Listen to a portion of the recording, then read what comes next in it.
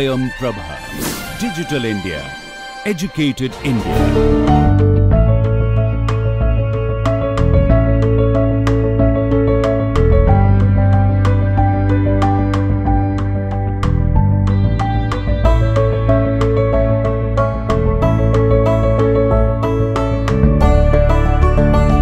So uh, today will be we'll be uh, winding up, but there is there is a, uh, quite a bit. It'll take some time. Now, um, okay, so I'll have to use the text from here itself because other computer it's not running actually. Uh, you can see, right?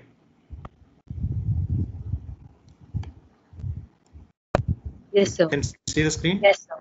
Yes, sir. okay. So I'll just uh, kind of show here and read it from there.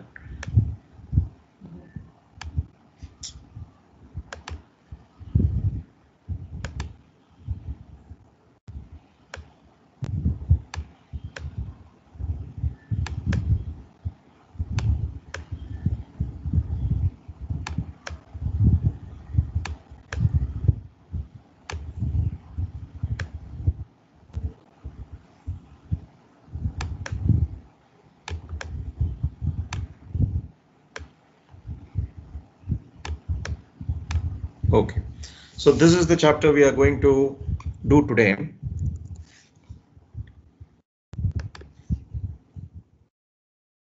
Flooding and damage conditions. So what we have here is basically um,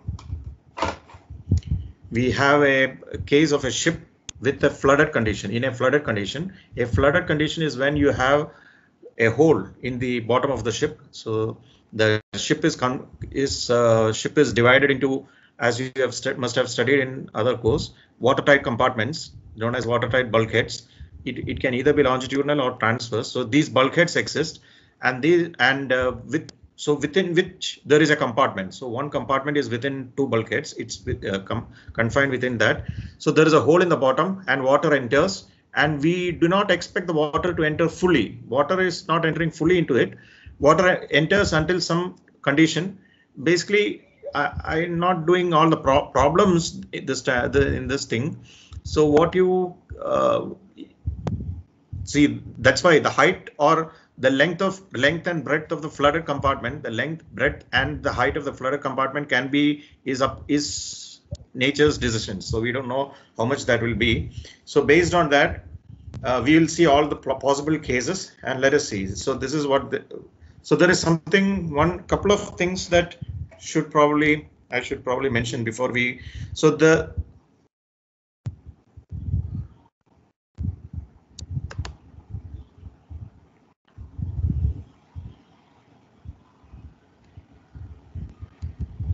actually computer becomes very slow when okay. I don't know if it will crash or not. So uh, what you have here is uh, flooding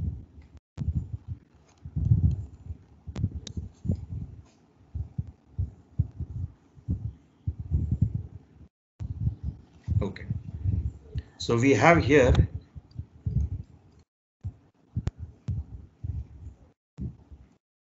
okay. We, we have here the flooding condition okay?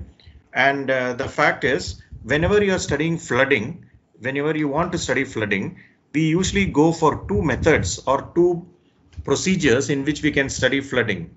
The first one or before that uh, basically the concept of flooding came after there were a lot of disasters. You know a lot, lot of ships sank in sea and therefore they realized that uh, i mean the, the shipping maritime community realized that they should uh, focus a lot on uh, this kind of flooding. So this is also called bilging by the way. It is bilging. Same thing. It, the word just like you have listing and heeling some old terminology and a new terminology just like that bilging is a kind of old terminology flooding is the new terminology so uh, basically all the main people the main uh, main people of the shipping community met at london in a in a convention called the international convention of solas. This is what they called it. It means safety of life at sea.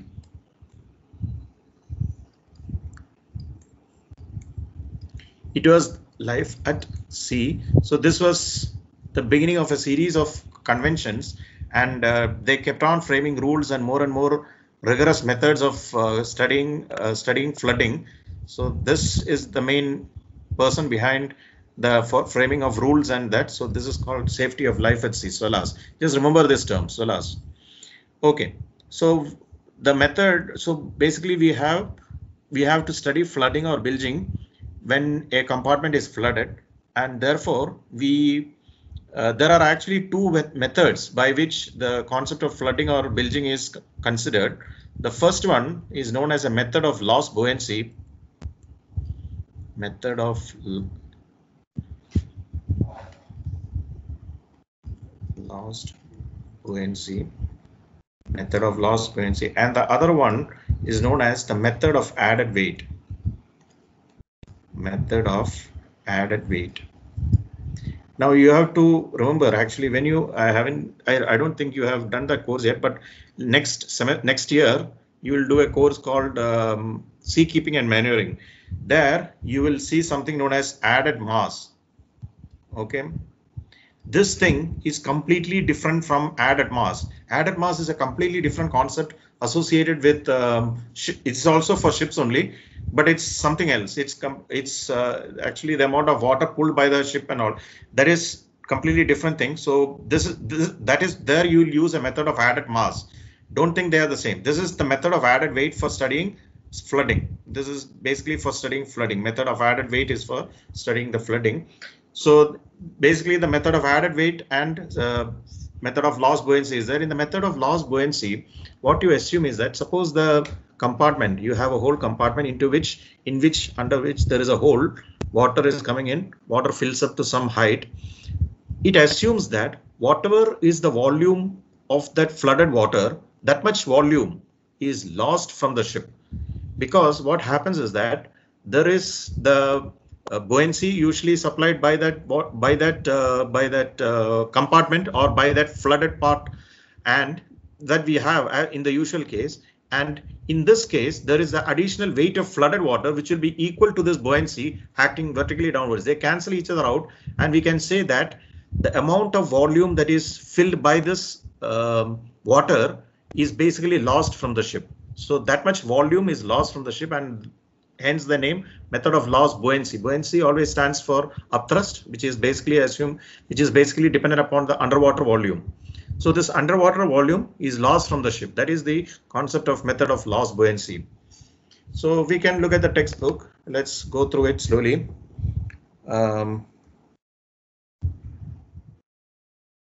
as they are saying here, um, these ships are the most, um, basically most, what should I say, uh, highly susceptible to damage kind of ships, roll on, roll off ships. These are the ships which mainly carry these cars, automobiles, etc. They keep it, you must have seen, stacked on top of each other, they carry this. So that is known as roll on, roll off ships.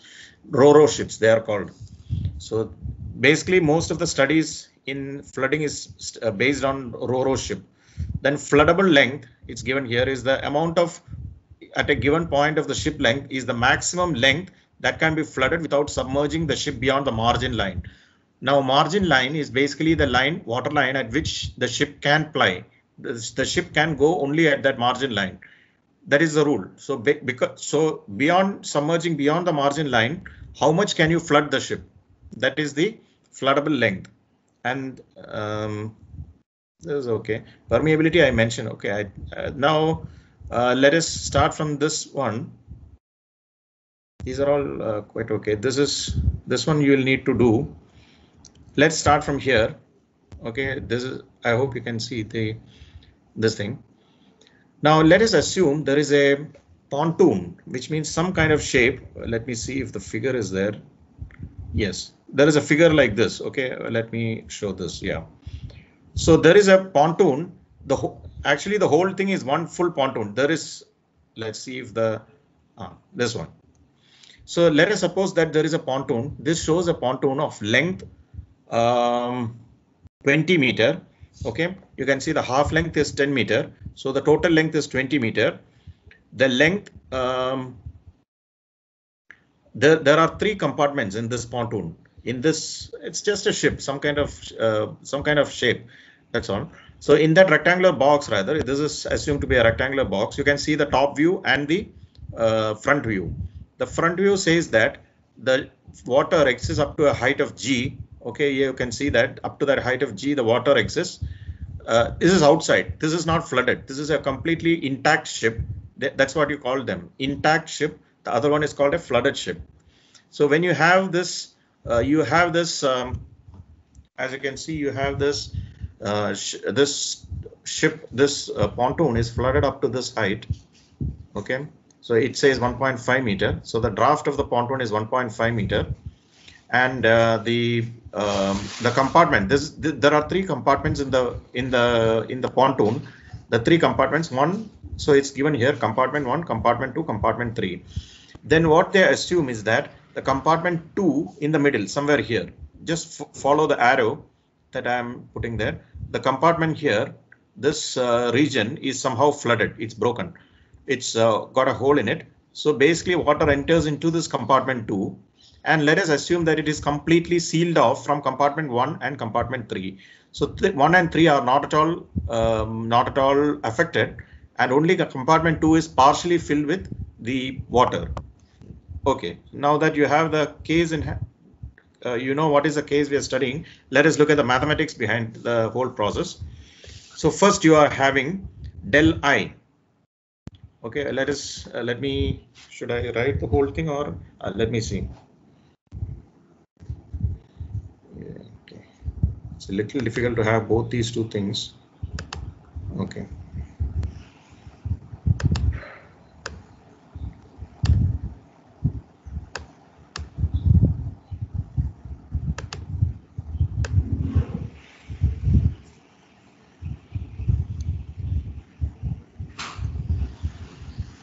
So basically, uh, let us look at this again. Uh, you have del I. This is the intact volume, um, intact underwater volume of the ship. What will it be? You can just look at this. It will be basically the length, the basically you will have the length into breadth. This is breadth into draft, LBTI into rho of water. That will give you the uh, if it is uh, if it is displacement volume so here they are talking about displacement volume. So Ti is basically this 1.5 meter, which is base, which is the uh, the uh, the draft initially before there is any flooding. So up to now there has been no flooding. The ship is intact. It's an intact ship. We are just calculating the details of that intact ship. So you have del I, the underwater volume of that ship, is equal to LBTI. So value is given. Then the mass displacement will be a rho into that. Rho is the density of water, seawater, 1.025 into 150. That is what they have got here. So they, that will give you the uh, del I. That will give you the underwater. Uh, that will give you the displacement of the ship, the weight of the ship, mass displacement. Then, then you need to find, as you know, you need to find the moment of inertia of the water plane about the longitudinal axis. So the moment of inertia of the water plane about the center line axis, which is the longitudinal axis, which is they have written it as II. It is equal to LB cube by 12 L is the length of the ship, B is B cube is the breadth cube of the ship and divided by 12. You, you know this, this is, we have discussed this many times. So this will come here to 208.334 meter power 4. So this is the I, this is I of the ship. Then now you have to find the metacentric radius BM. In this I stands for intact. Okay, that is why it is I this it just goes to this just to keep it uh, different from the flooded condition. Flooded is you, i think they have denoted it by l. A, a, l is underscript or what you call it subscript l stands for um, flooded ship. So the subscript i standing for intact ship. So bmi is equal to i i i intact divided by del intact. So we have just calculated I, which is 208 point something, divided by del I, we just calculated, which is 150. So you get this. Now, of course, there the you could have got it simpler, sim, similarly in this manner. The height of the center of buoyancy, okay, the height, just follow this arrow. That's that's the way I'm going. The height of the center of buoyancy, this is basically KB, height of the center of it is always it is going to be equal to draft by 2 draft is equal to ti divided by 2 1.5 divided by 2 is equal to 0.75 meter. Okay. So this you should know by now. The metacentric height is equal to GMI, GM in the intact condition, GM is equal to KB plus BM minus KG. This uh, you should know uh, by now. So GM intact is equal to BM KBI plus BMI minus KGI. So you do this, you uh, they have got the GM as 0.639 meter. Now the righting moment, okay, the righting moment and in uh, place of it righting arm is basically given by righting moment is given by GM sine phi is what is GZ. These things I'm using very easily because you I'm sure you should be remembering it by now. So if it is a wall side it becomes different. If you remember, it becomes a different, slightly bigger expression. We are not using that. These are all for small angles of heel. So at that case, GM sine phi is GZ. So delta into GZ is equal to this into sine phi. So you get an answer in terms of sine phi, which means basically that as phi becomes different different values as it keeps going, this value, this value of MRI, M moment of the righting arm will keep on changing in this fashion. So this is the righting arm moment. This is in case of the ship is intact. We have done every calculation for the ship is intact. Same thing let us now do for loss buoyancy. So what happens is that the method of loss buoyancy, that buoyancy part is lost from the ship. Now in this problem, so what happens is that what you see is that see at the there is a water plane area okay when the when a compartment gets flooded, water comes up and let us assume that in all our cases, we are assuming that water comes up to the level of water plane area. So you have a water plane area. So the water comes up to the level of that water plane area. So at that water plane area region, you have water now. So what that means is that out of the water plane area, that much area is gone out of the calculation of A. So the a, what area of the water plane will change the moment of inertia of the water moment of second moment of area of the water plane will change etc so that's what that's the only thing we are do, we have to take care of in this this is the method of loss buoyancy we are assuming that the water enters and that volume and consequently area and as a result the uh, moment of inertia changes basically what happens is that in the water plane some area is just taken away that so that much volume or that much area is also taken away from the ship Okay. Then in the method of loss buoyancy, so what they are saying, let us see here. So area is now how much? This is the ship. I hope this is the figure. Yeah. So this is by the method of loss buoyancy. What we are seeing here is that this much water, this much region has broken. It's like they, they have just completely removed the whole thing. That means it's not just a hole. It can be. It doesn't make a difference. Makes a it's a hole and water has entered and it has come up to this level, up to the maximum possible level it has come up. So when that happens, what will be the, so the, this much area, you know, this much area is gone from the ship. In from the water plane, water plane, this much area is gone from the water plane. So when you have that, you can see that the water plane area is now L, the whole length is L, minus if this length is small l. You know the what compartment 2 length is small l. So l minus l here in the previous thing l minus l into b which is 20 minus 4 into 5 which is 80 so this is now the water plane area of the uh, flooded pontoon using loss buoyancy method. Now um, you have to remember one thing. So what happens is like this. See the the ship initially exists with some displacement and then finally the in in after some time the bottom part gets a hole in it water enters and it fills up to the level of water plane area. So um, so what we are what we have to do is that this volume when it enters that much volume that compartment 2's volume is completely lost by the ship so but remember one thing even though we have assumed that the displacement of the ship doesn't change. That is the method of uh, loss buoyancy. In loss buoyancy, what you do is that you assume that water has entered and whatever region the water is occupying, that much volume is lost from the ship, but nothing else changes for the ship. Means ship's displacement, ship's center of gravity, none of those things change. Only the volume is lost, area is lost, and in water plane area is lost, and water plane areas moment of inertia will change. in the other method, method of added weight method, what you do is that you water enters, you do not assume any volume is lost or anything. You assume that the weight of the ship is now the initial weight of the ship plus the weight of water. So these are two methods. You will see it, it's more or less the same. The concept is the same because because of the fact of that buoyancy depends upon the volume, underwater volume. So in this case, you look at this case. There is initial um, what there is volume as water has entered the volume, so that volume is lost, but the displacement doesn't change. So what has to happen? Water, the in order to obtain this final volume, same as the volume, you know, it lost some volume in the because the water entered, it lost some volume. So to make up for that volume, the ship will sink even more.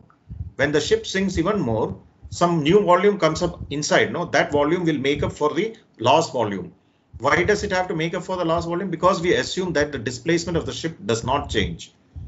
That is the thing. If you have understood, that is the uh, that is the only thing. So this is the um, this is how it is. So we let's look at the math. math probably that will be that will make things clear.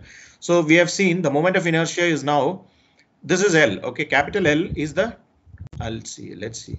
Capital L is this thing. This distance into two. It is the distance between the two ends. Capital L. The length of the pontoon is L. Small L is the length of this broken part. This this uh, void. You know this hole here. This compartment two. The length of that is small L. So this much this much the volume inside that the area on the water plane and the moment of inertia is lost from that. This is method of loss buoyancy in that's why. So therefore, the moment of inertia becomes b cube into L minus L by 12. B doesn't change. Why? How can B change? B can change if let us assume that uh, I'll try to now the same thing. Suppose you have suppose you had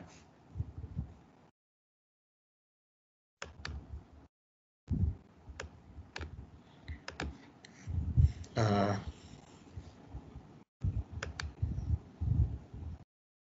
okay i think this is better. So uh, let us assume that we calculate the moment of inertia is now okay i was telling you about how to do that first. So the ship was the pontoon was initially like this okay? This is the top view. I'm looking from the top view. It's i'm looking like this and this much of the pontoon this is basically the compartment 2 this much got flooded. Now the moment of inertia of the whole thing the water plane the water plane now the water plane area does not have this region. Okay this region is not part of the water plane area now. Therefore i becomes the moment of inertia becomes LB cubed by 12 minus LB cubed by 12. This much is lost. So that has to be subtracted out. That moment of inertia has to be subtracted out. This is IL, which can be written as L minus L into B cubed by 12. Oh, BB. This is B, of course. B cubed by B cubed by 12. Now, how can this B be different from this B? If the ship is if the ship is uh, broken or the damaged only up to this. Let's say there is a breadth like this. Let's assume that in this case, the whole of the ship is produced here and water enters and there are two compartments like this. Then this much only is flooded. The, this region is not flooded.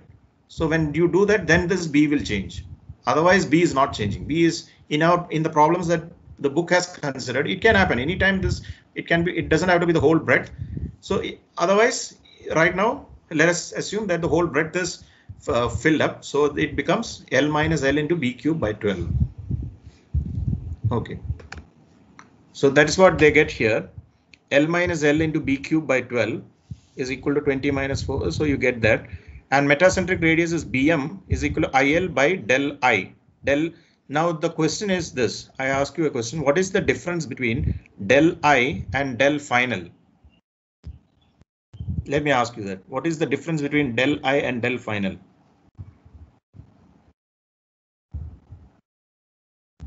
You have to read this and if it's not clear, then you have to read this. See, del I is the intact volume. Okay, it is the initial volume.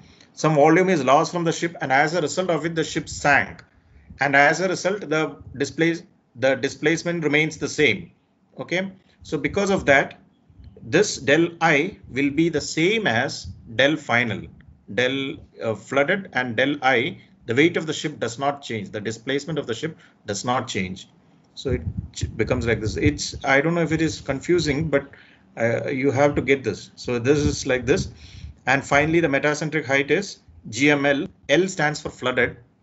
So GML, it is not longitudinal. There is a GML, which is a GM longitudinal, which we talked about when we are doing trimming. That is that is not this. This is just GML is equal to KBL plus KB plus BM minus KG. It is always true. So like this, and the righting arm, uh, righting moment will be delta into GML sine phi. So delta initial. This is what you have to remember. Delta intact is equal to the delta final this is constant displacement method. Constant displacement method is a method of loss buoyancy. The other one is method of added displacement method or added weight method. It's usually called added weight method, sometimes also called added displacement method. Okay, that is the method of loss buoyancy. Then we go into something known as a method of added weight. Now this is, we are studying the same thing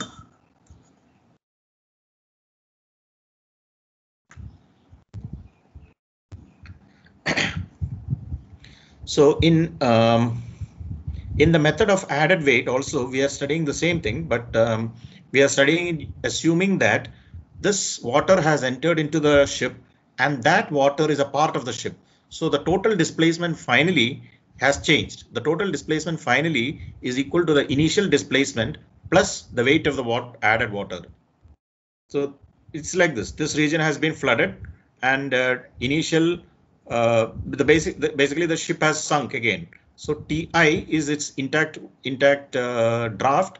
Delta T is the change in draft due to the uh, due to the increase of inc due to the increased mass of the ship because of the added water. So let us see. So like this, the entire breadth is flooded. You know, this is the top view. It is five meters in my five meters in the breadth so basically this is the top view. They are showing that the same thing, the same compartment is compartment two is flooded and we are studying it using the method of uh, added weight. Okay, so it comes like this. Now, um, let us see the volume of the added weight. The volume of the added water is how much? This is V. Small v is the volume of the added water.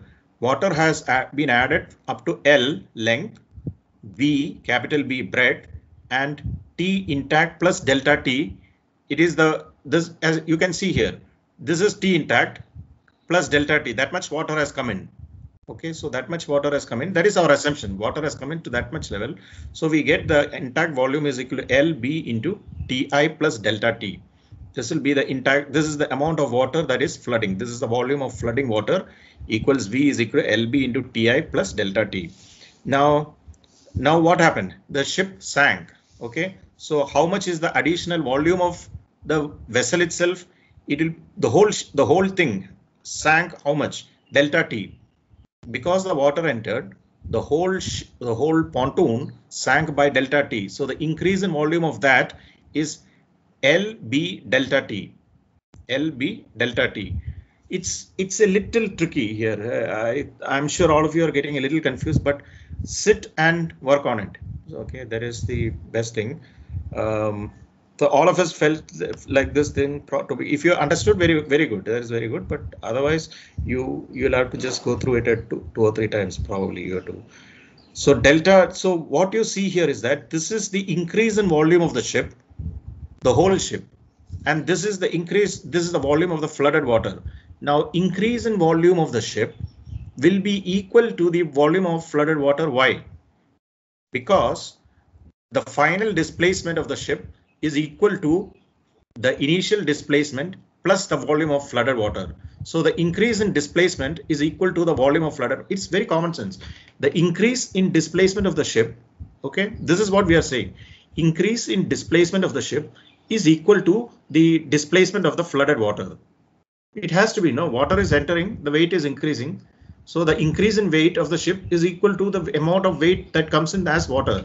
So that is, so we are equating these two equation, these these two things, the volume of flooded water and the increase in volume due to parallel sinkage, when you equate that, you will get delta T.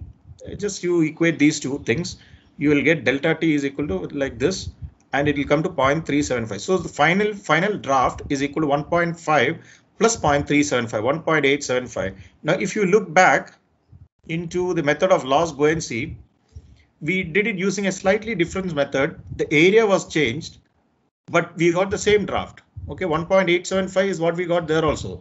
And here also is 1.875. The method, that's why I said it's just a little subtle change in the in the way in which you are looking at the problem, but it's more or less the same thing. Like we are saying things like this, you know, the method, of the weight of added water is equal to the increase in weight of the ship, obviously. So that is like that. Then, so the draft after flooding now the draft after flooding will be 1.875 that we saw. Now then if you want to calculate the volume of the flooding water, flooded water, L length, B breadth, delta T, uh, T, Ti plus delta T, this one. This is the volume of flooded water. Ti plus delta T, we call it as Ta. This is T after flooding using the added weight method. So T so anything after the added weight method, after after uh, flooding, is usually designated with the subscript A. So V is equal to LBTA. This is the volume of flooded water. Now height of the center of gravity, center of gravity will be half of that, which will be equal to TA divided by 2. So that will give you this. And now the displacement volume of the flooded pontoon, the final volumes displacement will be LBTA. This can be found in many ways. You can, the simplest way is that initial displacement, okay, plus the weight of the water. That will give you the same thing. What they have done is LBTA, length into breadth into final draft, which is the same thing again. It will give you the displacement volume multiplied by the density of water will give you the displacement mass.